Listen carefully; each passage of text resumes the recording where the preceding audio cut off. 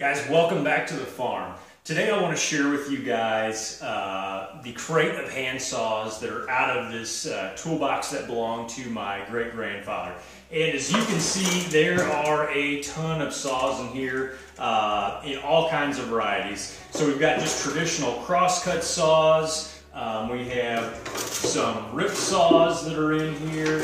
Um, we have some keyhole saws that are tucked in the back and some kind of miscellaneous. Uh, there's a nail saw in here. There's the keyhole saw. The majority of these are Disston saws. It was said at one time that Henry Disston Company made 75% of all hand saws produced in the United States. And I really believe that just based on what we find in this box.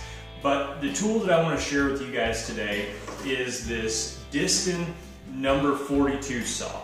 And it stands out amongst all these other saws um, in a lot of different ways. It has an applewood handle. Uh, you see a lot of the brass fittings on here. It has a scribe in the handle. Um, and it actually has a, I don't know if you'll see this, uh, it has a ruler along the back of the saw. Now, this saw is a little different from all the other saws in this box, and the reason why is this saw was owned by August Waymuller, who was a relative of my great-great-grandfather's, and August Waymuller worked for a furniture and undertaking company in Washington, Missouri. So this saw was probably used in the furniture trade, and it's probably why it's a little more ornate than the other saws we see in this box. The interesting thing about this saw is it's what's known as a combination saw.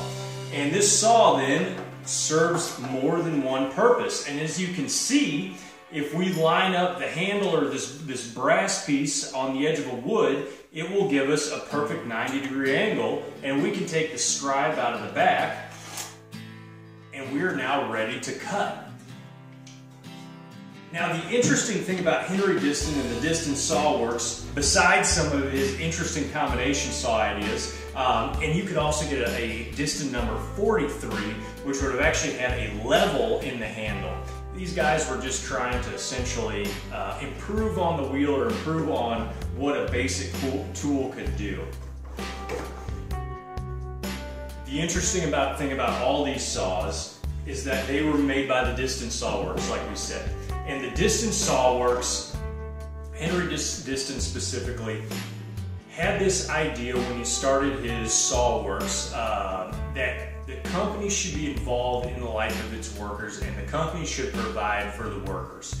Uh, kind of this paternalistic view of how the company would interact.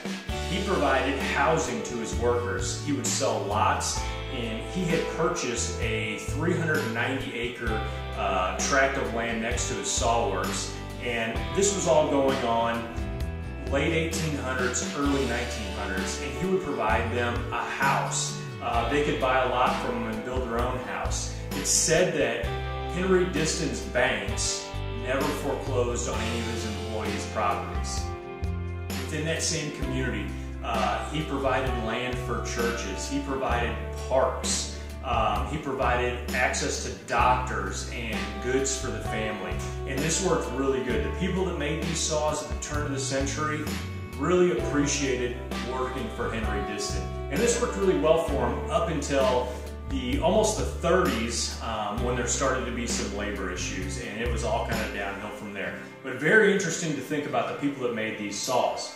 Of course, at the time that these saws were out, if you were going to own one of these saws, you probably needed a way to keep it sharp.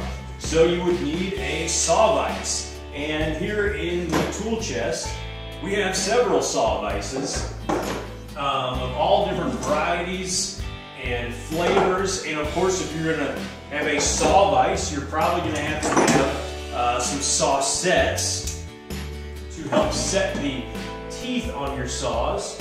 And there's some more saw vices. Um, the only thing that this toolbox is really lacking is the saw files, which I'm sure were in here at one time that just disappeared over time. Guys, I really hope you enjoyed today's video. Be sure to like and subscribe below to stay up to date with everything that's going on at the farm.